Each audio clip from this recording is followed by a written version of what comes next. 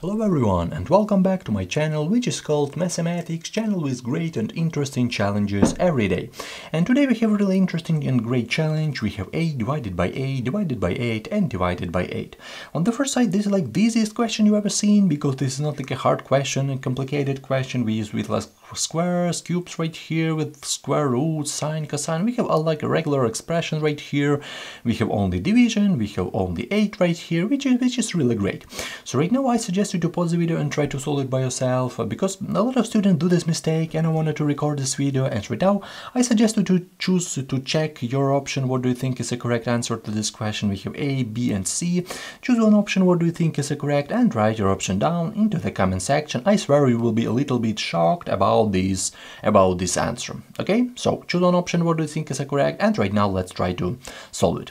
First of all I want to start with this solution. Right here we have 8 divided by 8 divided by 8 and divided by 8. Okay, here's our question right here and one part of students solve it like that. They say, okay, from left to right, okay, as we learned before, right here from left to right we have 8 divided by 8, which is equal to 1, and right here we have the same division on the right hand side. On the left hand side 8, 8, and right here we have 8 and 8, so right here we have the same one, yeah, we have 8 divided by 8, which is equal to, which is equal to 1. And with this division in the middle, so we have 1 divided by 1 equal to equal to 1. Yeah, and option option C. Yeah, we have this option C. So one part of students solve this question like that. They say that this is a correct solution. I don't want to uh, say that this is correct or incorrect. I want you to understand that in math we need to know what is the correct order to do this problem. So we cannot jump from left to right. We cannot do whatever we want. We cannot do like chaotically these things right here. In math we need to know what is one and only one correct order of operation and one and only one solution. We cannot solve this question like in two options. Yeah, we cannot uh, write that this is equal to 1 and 8, for example. I don't know exactly, yeah? So we cannot do this like that. So we need to understand what is the correct order to do this problem. And I want to leave this solution right here. And I want you to understand that we need to know, for example, this PEMDAS order of operation. This is the most popular order of operation in the world. And let's solve this question according to PEMDAS. Let's check with this option 1, which is maybe correct or not correct. I don't know exactly. But let's solve this question according to PEMDAS and let's check with this option 1. Okay, let's, let's, let's do this. So here's our question. So we have 8 divided by 8 divided by 8 and divided by 8. Okay, Here's our question. And right now, let's look at it. So we, right here we have all division sign and let's go through the steps right here real quick. So the first step according to PEMDAS, because PEMDAS this is the order of operation. In math, this is like order of operation, all know about this order and let's solve this question according to PEMDAS. So the first step according to PEMDAS is uh, parentheses. Let's look at it. As I told before, we don't have any parentheses in our expression. We don't have any parentheses right here, right here, everywhere we don't have any parentheses. So we just skip this part, we don't have it and it's, it's really great. The next step, exponents. What about exponents? Maybe cubes, maybe squares right here. I as I told before, we don't have any powers, we don't have any exponents, so we just skip this part as well. So as you can see, we just we already skip this two part, parentheses and exponent, which is which is really great. So let's go to the next step. The next step is multiplication and division group. A lot of students do this mistake. They say, okay, multiplication, now we need to multiply it first, but we need to find multiplication and division sign. Yeah, let's look at it. Where do we have multiplication and division sign?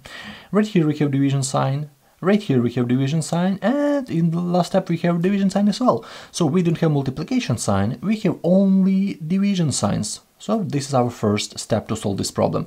And I want to say that we don't have any addition and subtraction sign. We can easily reject this step, which is brilliant because we don't have parentheses, exponent, multiplication, addition and subtraction. We don't have eh, any of these steps. We have only division.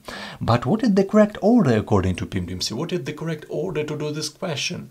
So in, P in PEMDAS, correct order is from left to right. So we need to look at it in a perspective from left to right. So left to right. This is a correct order to do this question. So from left to right. And let's look at it. What is the first sign from left to right? Let's look at it. 3 3 division sign. What is the first sign from left to right? Of course, the division sign is first from left to right. So we have 8 divided by 8, which is equal to 1. So this is our first step. 8 divided by 8 equal to 1. And right now, as you can see, this is absolutely the same step as I told before right here. So right here we have absolutely the same uh, first step. But right now we rewrite this expression. So we still have this 8 divided by 8 divided by 8 divided by 8. We still have this. And before we divided 8 divided by 8. Which is absolutely not the same as right here, because right now we still have this division group once more, all the time. We have division sign, and the first sign from left to right, right here in the second step, is this division. This is not this division, this is the first uh, division sign from right to left, but right here this is the first sign from left to right, so we have 1 over 8, yeah, we have 1 divided by 8, which is equal to 1 over 8, and with this division by 8 right here, which is equal to 1 over, looks like 64, yeah, so 1 over over 64 and as you can see really interesting answer right here. We have option A 1 over 64 which is of course, this is a correct answer. And uh, why this is correct? Because we solved it according to a correct order of operation. This is a chaotic solution. We just solve this problem whatever we want. We just solve this problem in an easy way. Divide it here, divide it here, and 1 with, with this option, and we go to the next test. This is absolutely wrong solution. Of course, with parentheses, it will be correct solution, because right now we need to start from this parentheses, right here 1, right here 1. Yeah, with 1, this is correct solution. With parentheses, this is correct solution, because we need to start from this parentheses. This is our first step. So we need to parentheses, parentheses, then division. This is correct with parentheses, but in our case we don't have any parentheses, so this is a very huge mistake. And 1, this is absolutely wrong solution, 8 is uh, also wrong solution, but according to PEMDAS, we find our answer. This is option. Option A is a correct answer to this to this question. I hope you understand my thought about it. I wish you all the best in your adventures. I hope you learned something new and have a great day.